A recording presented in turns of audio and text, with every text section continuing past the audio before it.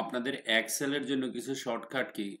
Close a workbook sheet যেটা control plus W okay মনে রাখবেন। Open a workbook control plus O এই MS ওয়ার্ডের মতোই, একটু difference go to the home page control H save a workbook control S আমরা জানি।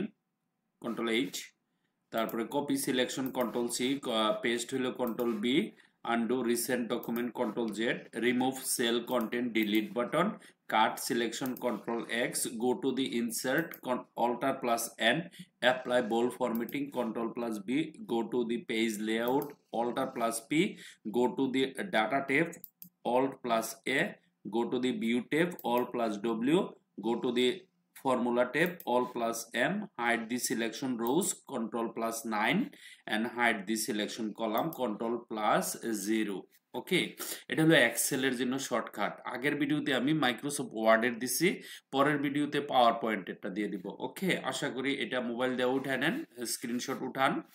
ঠিক আছে? এটা এটা দেখে নিতে পারবেন। Okay thank you very much for watching this video bye